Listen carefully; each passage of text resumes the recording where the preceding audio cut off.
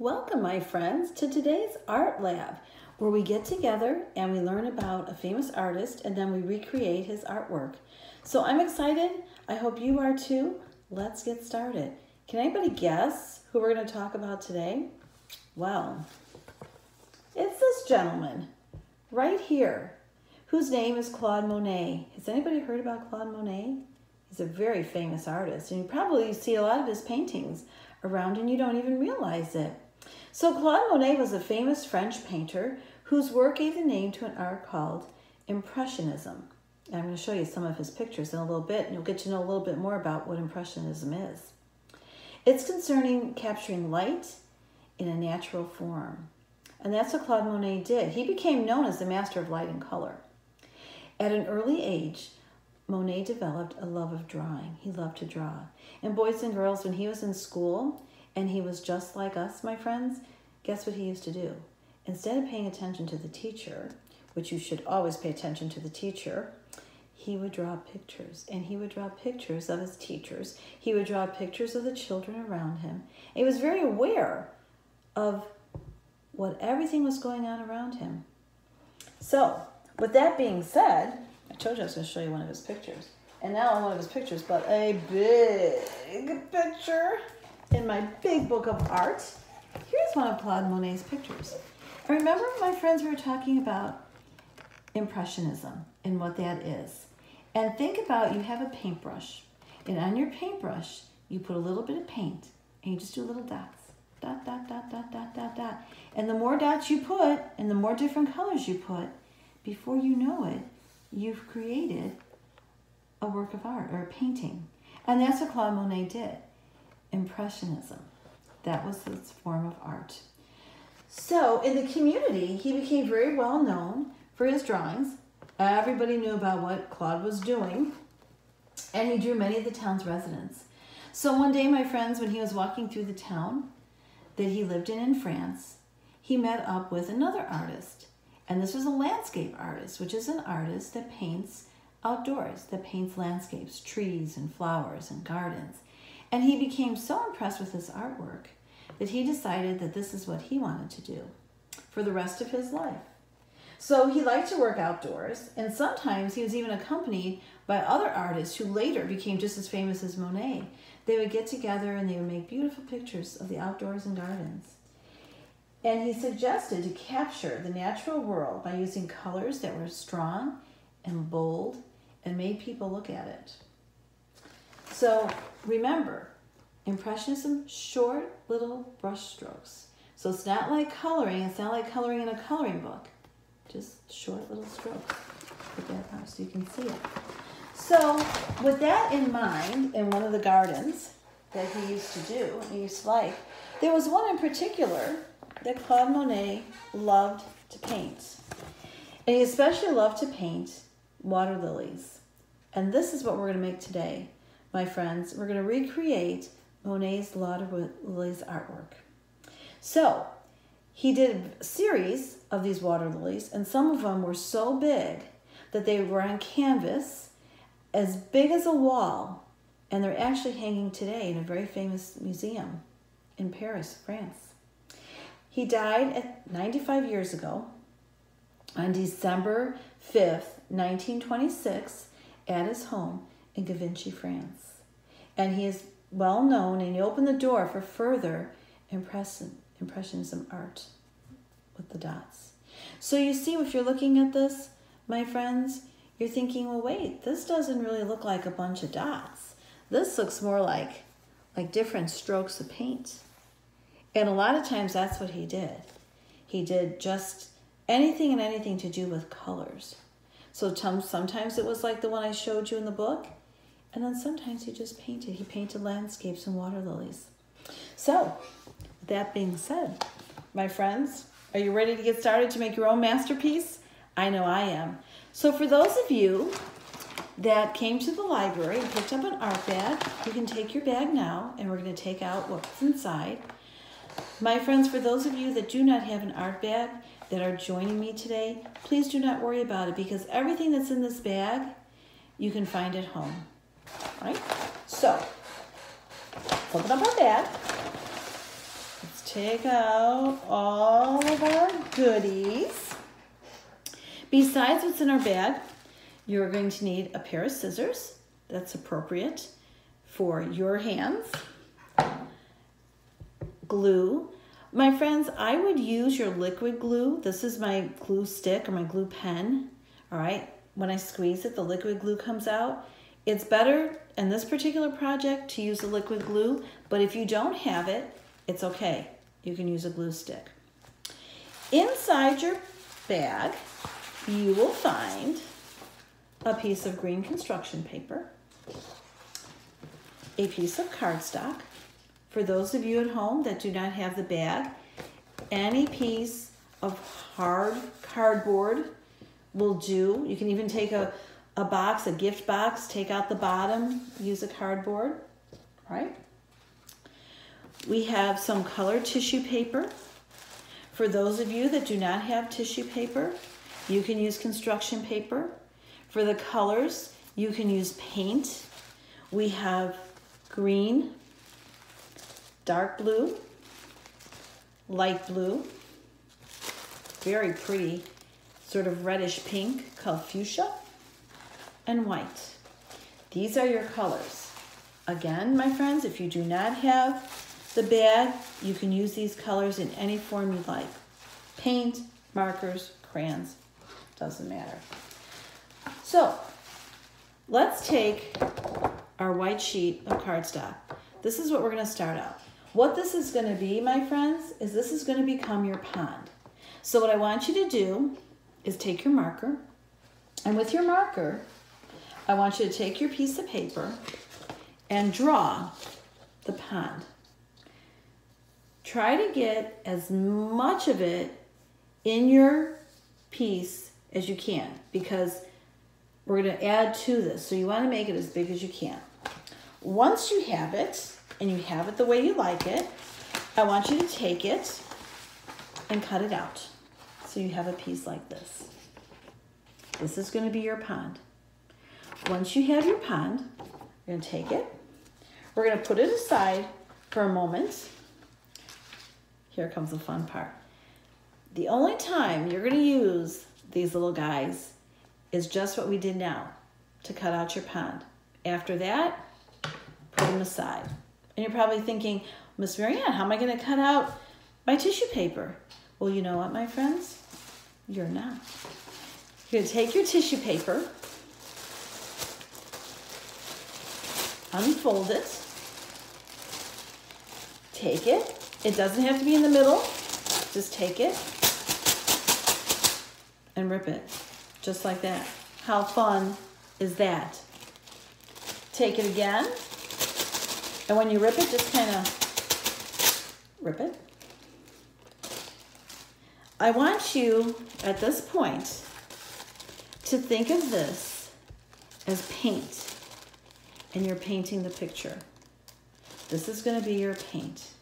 So when we paint, and those of you that don't have tissue paper that are using real paints, what do you do? You take your brush, you put it in there, and you paint. Well, we're painting with tissue paper. So you're gonna take this, and you're gonna take and just rip it. If it's just a little spot like this, it's okay. If it's a little thin one, it's okay. You're gonna keep ripping, my friends, until you have a bunch of little strips, just like this. You're gonna do the same thing as you can see with your light blue. Just rip, don't cut. It doesn't matter what they look like. You don't want them to be really big because what you're gonna do is you're gonna take those strips, you're gonna take your glue, and you're gonna start gluing them onto your pond. And you see what Miss Mariann did? I just took it, I overlapped them. You know what? Be sloppy. It doesn't, it's a masterpiece. It's a work of art. It doesn't have to be perfect. Take them, glue them. Now you're to see as you start to glue, my friends, that the glue is to be kind of wet. It's almost to look like you put water on there. What I would do, so you don't get your hands just all messy, just take a pencil and just run the pencil over it so you can kind of roll it or anything that you have, even if you have, let's see, oh, here's a pencil. Let me grab a pencil and I can show you. All right, so take your pencil, just kind of roll over it as you do it. So this way you don't get your fingers all sticky and then you have it stuck to your hands. Once you have this, it's gonna look like this. See? Any which way, it doesn't matter. If it comes off the side, no problem. That's when you use your scissor and you just cut it right off. So it looks like this. This, my friends, is your pond. This is your canvas. This is where you're gonna create your lily pads. We're done with our blue tissue paper. We're gonna put that aside. We've already used our sheet of cardstock. We won't need that anymore. So now we're gonna start to create the lily pads.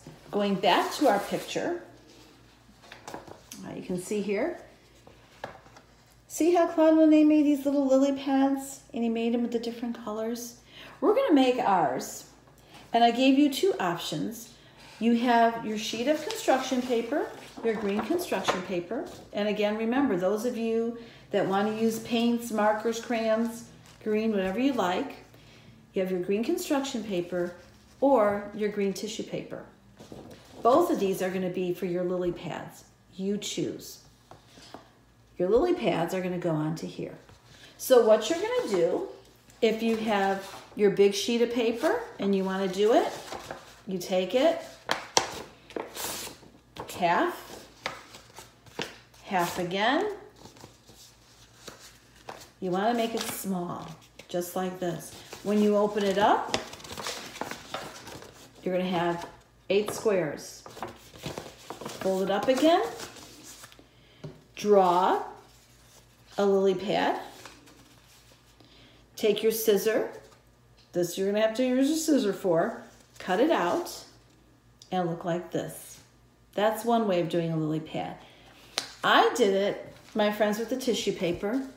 You do the same thing. You take your tissue paper, you draw a little lily pad. If you're not sure, my friends, how to do a lily pad, think of it as this shape, only super tiny on here. When you have it done, you make one drawing, just one, and you cut it out. When you cut it out, my friends, here's the fun part. You're gonna get all these lily pads with just one cut. How cool is that, right? So now you have your lily pad. In mine, I chose the tissue paper because it looks more like paint. So you're gonna take it, and you're gonna take it, put it in front of you. Now it's time to create your beautiful flowers. So with your flowers, my friends, I want you to take your white piece of tissue paper out of your thing. For this, we're gonna use just a tiny amount. So take it just like this and crumble it up as if you're doing like a little ball. See that? Like a little marble, right? When you have that, you're gonna take your pink or your fuchsia. Again, you do not need a scissor. Take a little piece off. Take your white ball. Take a little bit of glue. You want to use your liquid glue if you have it. And you're going to stick it right in the middle. See that? Right in the middle. Just stick it right in there. That's going to be the middle of your flower. When you have that, you're going to take it. See Miss Mariann's thumb? Put your thumb right on there, like that. Hold it just like that. Take your paper, and you're going to squish it, my friends. Take your paper and squish it all the way around that little dot. See how I did that? Doesn't have to, don't worry about it. It doesn't have to be perfect. You want a little flower just like that. Take it, put some glue on the back. Take your piece of tissue paper, or again, if you wanted your piece of construction paper, whatever you'd like, take it, stick it on there, just like that. And you have your flower. And you notice, my friends, how it sticks up? It makes it like three-dimensional. It's going to stick up. You can make as many as you want, no matter how big your pond is. So here's my pond over here. So take your pond back, just like this. I'm to take it, put some glue on the back, and stick it right on your pond, like that. There you go. Let's do another one. Once you put your flower on there, put it wherever you'd like. How about another one?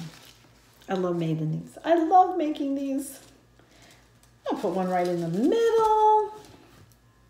Let's, should I put another one? Let's do another one.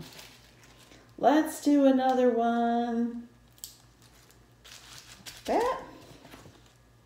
One more. How about one right over here? Put it in there like this.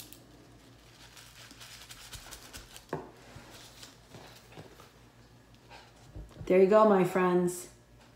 We've just created Claude Monet's water lily project.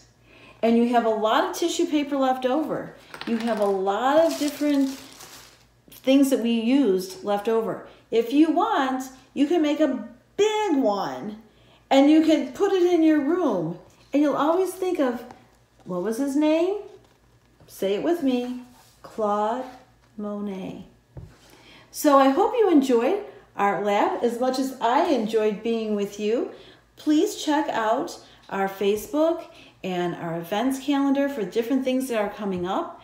I would love to see your water lily project. So if it's okay with your parents, put it on our Facebook. We'd love to see it. Until next time, my friends, take care, stay well, enjoy your summer, and I hope to see you all again soon. Thanks for joining me today. Have a great day. Bye.